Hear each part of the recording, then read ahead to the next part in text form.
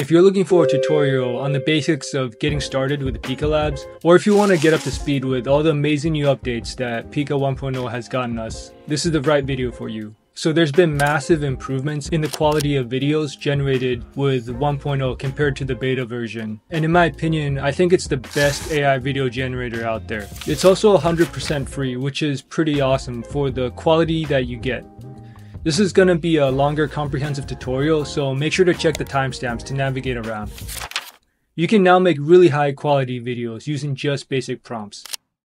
This is a Pixar style werewolf I animated, and I used a new video extension tool that increases the video duration. You can see so much dynamic motion and the frames are really consistent without any flickering. The style and the anatomy also look really good. The anime style also looks like it got a complete overhaul and the animations look much sharper and cleaner now. Generating anime style videos with the Studio Ghibli style seems to work particularly well. The new and improved video animations also carry over to image to video generations. Using reference images works much better than before. This is a piano player that I animated that shows the quality of the motions you can generate now. Here's a headshot of a female barbarian I generated for a past video that I never got around to animating. But the speaking motion looks really great. Combining different camera motions is also now possible with the video extension tool, like starting out with the rotation and then zooming out. There's a new expand canvas tool which is video outpainting. Taking the same headshot as before, we can expand the dimensions of the video to fill in the top of her head and the upper chest of her torso. This is one of the coolest unique features that Pika Labs has, and it works really well across different types of videos from what I've seen. There's also the new video to video animation that we'll cover, which allows you to use videos as references to the AI. And finally, there's video inpainting for filling in parts of the video, like changing your clothing and attire or adding in Christmas decorations in the background. To get started, head to pika.art. I'll put all the links in the description. You can use either a Google or a Discord account to sign in. Since I already have a Discord account that's connected to Pika Labs, I'll sign in using the Discord option. Here's a homepage. There's going to be a bunch of example videos that Pika Labs has for you to look at. I would definitely recommend checking out these video prompts to see what's possible. At the top right, you can choose between a grid view, which is the four squares icon, and is how the page is being displayed right now, or you can choose the wide view, which is the two rectangles icon, which will full screen each video so you can see the entire resolution. I'd recommend sticking with the grid view because that makes it way easier to keep track of all the videos you're generating. In the top left, you can navigate between the Explore homepage or go to the My Library page. The My Library page is where all your generated videos are being stored. It's kind of like a private chat with the PikaBot. I've got a bunch of videos here already, but if you're just starting out, this is going to be empty. So let's start by generating our first video. At the bottom of the page where it says describe your story in the chat message, that's where you enter your prompts. I'll start with something easy like a zebra walks through a field. You can press enter or click on the star shaped button to submit the generation job. You'll see a new video thumbnail pop up in the top left where you can track the progress of the video generation. This usually goes by pretty quickly, I'd say less than a minute or so. Although sometimes it does get stuck for a bit, so don't get frustrated if that happens, just refresh the page or generate it again. So our video is finished generating. Let's take a look at it in the full screen resolution. We can click on this icon in the bottom left that looks like the four corners of a square. If you're used to the old Pika model, you'll probably notice uh, improvement in the quality of the video and also more accurate anatomy in general. This video looks fine to me. We can download it with a download button in the top right of the video player and it should show up in our downloads folder. You can also delete it using the trash bin icon but once it's gone there's no way to restore it. So I'd recommend holding on to them. There's been a bunch of times where I deleted a video and then later regretted it. There's a bunch of other buttons below the video player. We'll cover all of them later in the video, but for now just press escape or hit the exit button at the top right. The feature you'll use the most in Pika Labs is retry. This basically runs the exact same generation job again with the same prompts and any parameters or references you used. Pika Labs will generate a slightly different video each time depending on your prompt, so usually it takes 3 to 5 retries to get a video that you're satisfied with. When you use the retry button, you'll see these mini thumbnails pop up below your video, and that's how you can navigate between the different video generations using the same prompt. I'll usually use this at least three times. Now, if after three to five retries it still doesn't look quite the way you want, I would use a reprompt button to make some minor adjustments to the prompt. So the way this works is, let's say we did a bunch of retries on the zebra, and now while we wait for the AI to finish, we'll start another video with a prompt of something like an astronaut on Mars. Now, when the zebra videos are finished and we see that they aren't exactly what we want, we can click on reprompt, which will copy and paste the exact prompt we used to generate those zebra videos into the prompt box at the bottom of the screen. And it also keeps any image or video references and parameters that we used. It doesn't seem that important now, but it's super useful for later on if we want to use longer prompts or attach image and video references and use different parameters. When it comes to prompting, it's important to be specific with exactly what you want. One important thing to think about is the different animation mediums you want your video to be generated with. One example would be Pixar style, which works extremely well in Pika 1.0 and I think is one of the strong points of this AI.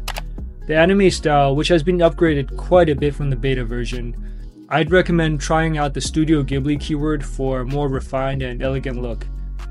You can also use a cartoon or Disney style, which produces old school looking animations, similar to vintage movies like The Lion King. It's really important to actually specify the specific style video you want because otherwise Pika Labs gets confused and will just alternate between random styles. If I want something realistic for the zebra, I might add the words nature documentary at the end of my prompt. Or switch to a GoPro video camera, which will give that recognizable fisheye lens look. I'll go more in depth in prompting in a future video, so make sure to subscribe for that. Now, a really great feature that Pika added is the extend video feature, which lets you uh, prolong the duration of your videos. So by default, the videos generated in Pika Labs are 3 seconds long, but we can extend them by 4 seconds and do it as many times as we want. Here's a video of a werewolf that I generated in Pixar style. Open up the full screen video player and you see the extend by 4 seconds feature in the bottom panel. Click on this and you'll see at the bottom of the screen the original prompt, the thumbnail of the video, which is 1280 by 720 pixels, and also the add 4 seconds option selected. Just click on the start button to submit the add 4 seconds job and increase the video length to a total of 7 seconds. Let's take a look at what we got. I found that the Pika Labs Extend Video tool works better than other AI platforms like Runway although it does seem to have this habit of distorting and deforming things after the initial three seconds in the extended video section. Here's a video of a horse in the winter that I extended to seven seconds, and you can see around the three second mark it starts to warp and deform a bit. To deal with this, we have to use negative prompting.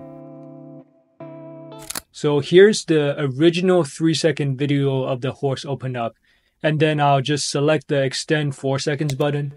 Now at the bottom of the interface, navigate to the parameters button, which looks like two lines and circles at the end of them. Inside there's a box that says negative prompt. The negative prompt is where you put all the keywords for stuff that you don't want to be in the video. So some example words would be deform, distort, ugly, warped, blurry. You might also have to add in some specific negative prompt words for the video you're generating. Once we have that filled in, we can try the generation job again. And this time the video of the horse extended to 7 seconds no longer deforms after the 3 second mark. Here's one important tip I found about negative prompting in Pika Labs. As of version 1.0, a lot of the times Pika seems to like generating these oversaturated colors for some reason. Like this video I generated from a reference image, which I'll discuss in a minute. And it has some crazy bright blue colors in it. If I see this happening, I'll add in the word oversaturated to my negative prompt, which will discourage Pika Labs from generating very saturated colors. Now looking at the video again, it'll have much more natural looking colors. Inside the parameters box, you can also control for the seed, which is the randomness. So if you generate two videos using the exact same seed, the video will be the same, which is kind of useful for debugging specific prompt keywords. There's also the consistency with text parameter, The higher this value is, the closer the video will follow the prompt you give. And the lower the value is, the less the video follows your prompt. So if you find that the videos you're creating don't really follow the prompt as closely as you like, you might want to bump this up to 20 or so. Now in Pika, there's also the video upscaling feature, which you can use to upscale the resolution by two times. If we open up the video player interface, and in the bottom panel, select the upscale option, it'll automatically start a video upscaling job. In the video player with a generation job, you'll be able to see the label that says upscale in it. Our werewolf can be upscaled from 2080 by 720 up to 2560 by 1440. The upscale quality is alright, it's not anything spectacular. There's a bit more sharpness to the video. The good news is that it doesn't seem to hurt the video quality with random visual artifacts that some other video upscalers will have. Here's another upscale job of the woman we saw earlier. And you do see that the hairs on her head are much sharper. The eyes also seem to have higher definition.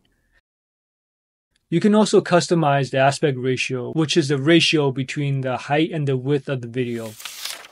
So if we go down to the video options button underneath the prompt box, that looks like the four corners of a rectangle.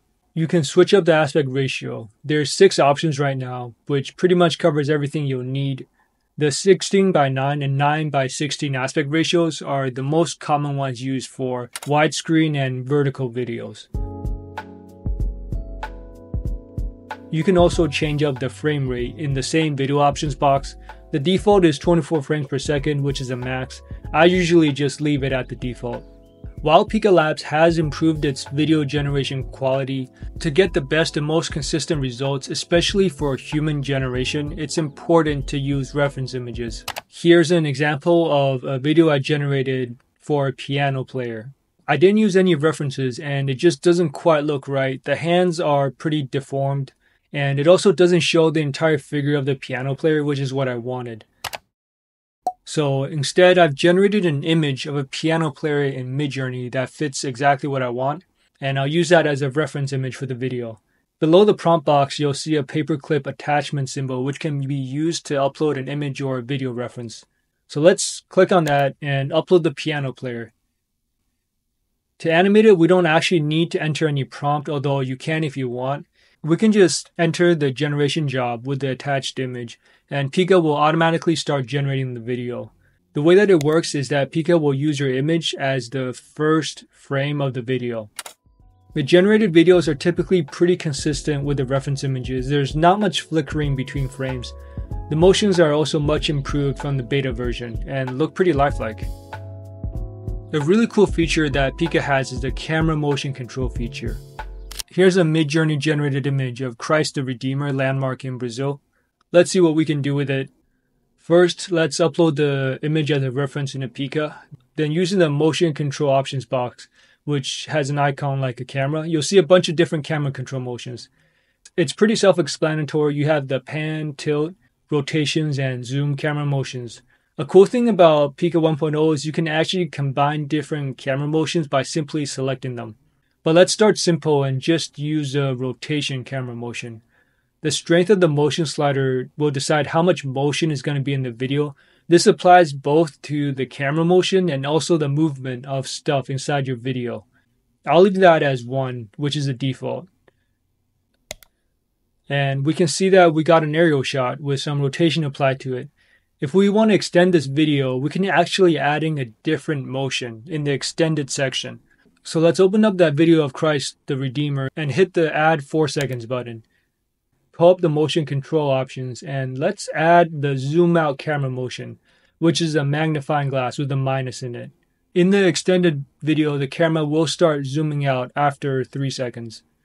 Now, like I mentioned before, in extended videos, Pika tends to like to change stuff for some reason, whether it's some kind of deformation warping, or in this case, there's light beam shooting in. I'm not sure why this is the case, but we can fix this by using the negative prompt as before. So click on the parameters button and inside the negative prompt box, I'll adding extra keywords like light ray, light beams, in addition to the other keywords I use. Now when we go and generate that extended video, it won't have that light beam shooting in after 3 seconds. The motion parameter affects different video prompts in different ways, even if the differences in the prompt seem subtle. If you still remember the zebra from the beginning of this tutorial, if we add Studio Ghibli to the prompt with the motion set to 1, there's barely any motion at all. The zebra just stands still. So in that case, we'll need to turn up the motion parameter and generate the video again. And now we see our zebra move around a bit more. You can look at all the parameters you used with the info button that has an eye inside the circle below the mini video player. It shows everything from the camera motion to the negative prompts. This is why I said that the reprompt feature is really useful because clicking on it not only copies and pastes your prompt into the prompt box, but it also keeps all of the parameters and image references you used, which can save you a ton of time. You've probably noticed that you can also attach video references for the AI generator. This is what the video to video demo looked like in the Pika 1.0 trailer. It was pretty impressive to me, so let's see what we can do with it. I'm gonna use the stock footage of a jogger that I downloaded from pexels.com and see the quality of AI videos we can get from Pika when using this as a reference. So let's click on the attachment button and find the jogging video reference. Inside the prompt box, I'll use a fun prompt like ELF World of Warcraft game engine render then copy and paste my negative prompt in the prompt box because the video to video does tend to deform and warp quite a bit. So let's see what we can get. So it's not bad. You do see the arms have some flickering and aren't perfect, but the head, legs, and background actually look pretty good. I tried a couple of different prompts for the jogger here. It does struggle a bit to keep things from deforming, even with a negative prompt. I'll play around with this a little bit more and make a video later on how to get the best out of the video to video feature. I would suggest that you use reference videos with a small and slow motion in them. Because if the motion is too big, Pika Labs will get confused and there's going to be a lot of deformities. There's a couple of nice unique features that Pika Labs has, and those are video inpainting and video outpainting. Underneath the mini video player with the edit button that looks like a paintbrush, we can select it and underneath the prompt box, a copy of the video and the modify region and expand canvas options pop up. Expand canvas is the outpainting tool and allows you to stretch the video to fit a specific aspect ratio. You can drag the corners of the original video to resize it and click and drag to move it around to customize the region that the original video will be in. So let's try to stretch the werewolf to a vertical video that has a 9 to 16 aspect ratio. I'm pretty happy with the way it looks now, so let's just go ahead and generate it. This is one of the coolest features that Pika has. I'd really recommend trying the 5 to 2 outpainting aspect ratio to get extra wide cinematic videos. Here's a video of myself that I recorded from a previous video. I want to see if I can add some AI generated stuff to it. So let's go ahead and upload it into Pika. Then I'll use the expand canvas tool and try stretching it to a wide 5 to 2 aspect ratio you do need to enter a prompt for the expand canvas tool. So I'll just putting something that describes me like a man in the living room. And let's generate the video. Changing the prompt that you put in for the expand canvas tool does make a difference. I can put myself in different types of apartments like one with neon colors. I also like trying out sci-fi type of backgrounds. The modify region tool is basically video inpainting. If you use it, you can select a section of the video to make specific adjustments to. There's only a rectangular box for now, but you can resize it and move it around. I'll give myself sunglasses by moving the rectangle box to cover up my eyes, and then in the prompt add wearing sunglasses. You can also change up your clothing attire like wearing a suit. It does get weird proportions sometimes, like I get this super skinny neck and some of them with neck tattoos, but it can also do some cool stuff like adding in Christmas decorations in the background. Here's one more example of the video inpainting. I have this Pixar style man on a golf course. We can use the edit button and this time using the modify region, I'll add in a golf cart for him. So click and drag the rectangle right there should be good and I'll prompt for a golf cart. That's it, that covers all the basics of Pika 1.0 and it's got everything you need to get started. I hope this tutorial was helpful. I'll be posting a lot more advanced guides for Pika Lab, so make sure to subscribe if you want to see that. Also, if you want to learn how to increase the frame rate of your videos beyond the maximum 24 frames per second, go and check out this video I have on frame interpolation.